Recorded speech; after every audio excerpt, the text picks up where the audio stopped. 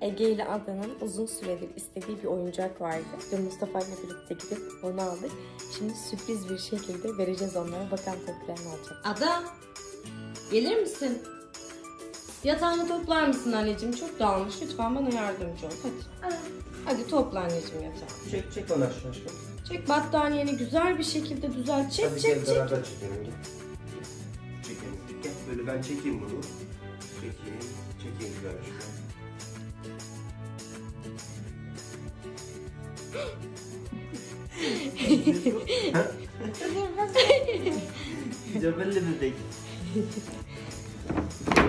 Ege. Efendim. Yatağını toplar mısın? Tamam.